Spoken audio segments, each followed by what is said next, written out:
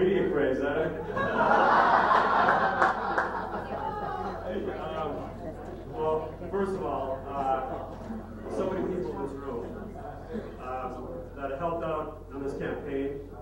It wasn't won by me. It wasn't won by uh, just a couple of us. It was won by hundreds, literally hundreds of volunteers who helped out on this campaign. And I want to thank each and every one of you for everything that you've done. I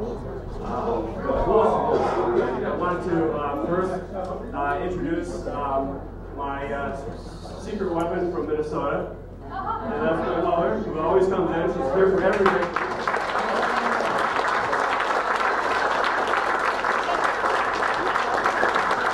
You know, the truth is that campaigning takes a lot away from your family. And here's the Maria. Um,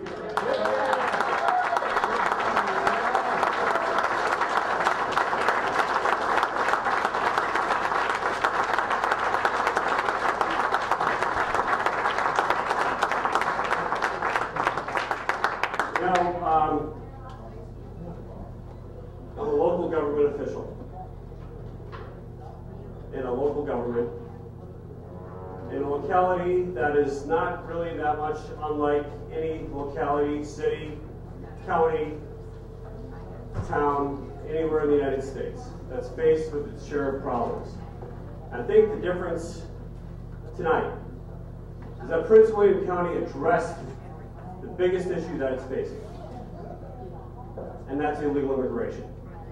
And that is why we are bucking the trend tonight in a Democratic tide year. We not only won the Prince William County on the local level, we actually increased our gains from last year, and I think that's great news.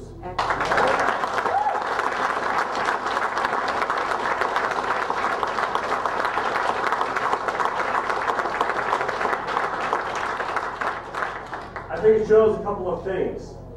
Think when John Stirrup, and let's give him a round of applause for that.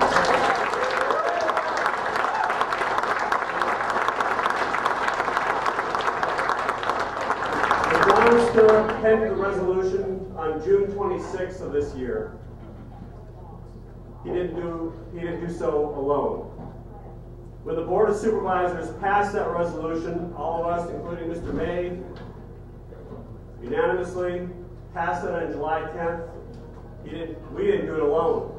And when we implemented the resolution on October the 16th, we didn't do it alone. We know now that the whole time the community was with us. We were never alone. The community strongly supports this crackdown on illegal immigration that tonight lays any other idea to rest.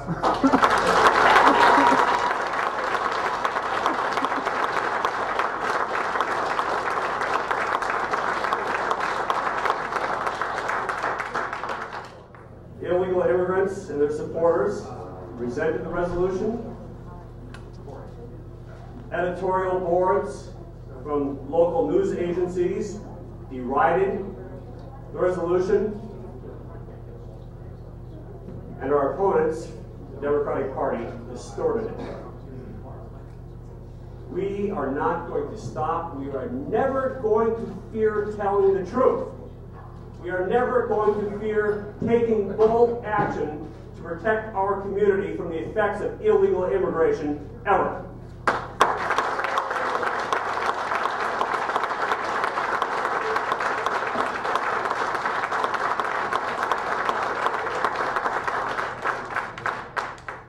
And before I forget, I, I, I do want to recognize a couple of very special people.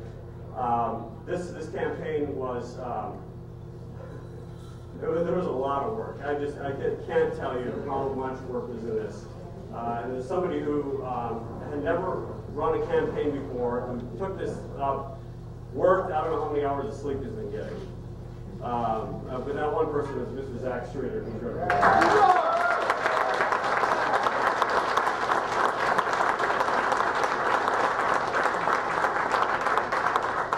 And finally, I just want to say, I don't think this was just uh, a victory for my reelection. I don't think that anything that's happened in Prince William County was just an election for the reelection of any of us. I think what this was, I really do mean this, I think this was a spark. I think this is a spark which has lit a fire that is spreading across the Commonwealth of Virginia and now across the nation, and it's showing that citizens should not accept excuses from any level of government for failing to deal with illegal immigration.